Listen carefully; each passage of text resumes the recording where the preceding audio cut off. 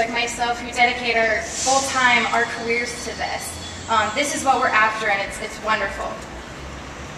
Over the last couple weeks, as we've seen these videos come out, as the Center for Medical Progress has released video after video of staff, Planned Parenthood staff, higher ups, discussing the brutal trade of selling fetal body parts, I have been absolutely nauseated for the last several weeks, and I think all of you have as well. I think that's the natural reaction. And today, as I watched the latest video in which a staff member had a what looked like a pie pan of body parts, a disarray of fetal body parts, of a little boy or girl whose life was cut short. As I watched that, I felt sick. I had to take a break because it was so disturbing. But as I watched this, I remembered something that the truth is that in that video, up to that point, I was seeing nothing different than what Planned Parenthood does day after day after day. Up to that point, there was no buying or selling, there was no dissection. That is what an abortion looked like. That was a victim of abortion. Planned Parenthood is one of the biggest, or the biggest, largest abortion provider in the country. And every day we know that 2,900 little Americans are dismembered, decapitated, and disemboweled by abortion.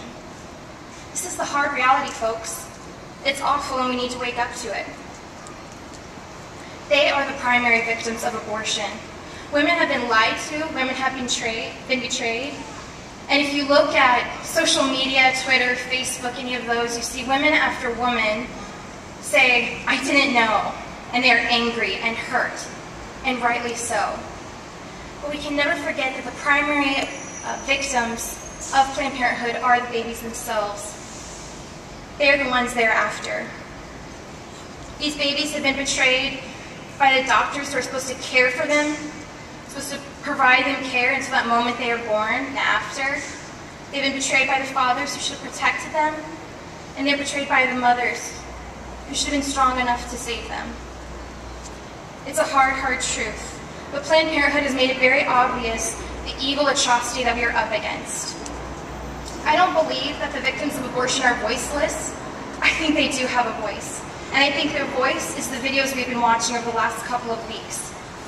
Their bodies. The hard truth, I think, is them talking, them pleading with us to help them. Planned Parenthood has built the skyscraper of profit off of these little corpses off of the women that are in desperate situations, off of the men that feel like they have no power. They've built a skyscraper of profit off of this, and they're getting away with it. But it's time that we say enough is enough. We're holding you accountable, and we will do what we can to end it.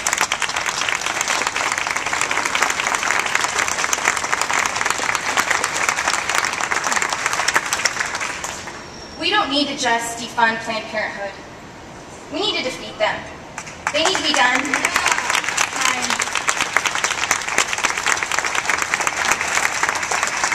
On August 22nd, my organization, Created Equal, will be going to the local Planned Parenthood on East Main Street. And we will be standing out there pleading with the women going inside to not kill their children that day. We'll be pleading with the people there. We'll be trying to stand up for the little babies who are going to be killed that day. We'll be handing out pamphlets afterwards that you can join us at this event. We'd like all of you to join us um, say that you've had enough of Planned Parenthood, that it's time for them to be done, to stop profiting off of the tiny little boys and girls that are being killed every day.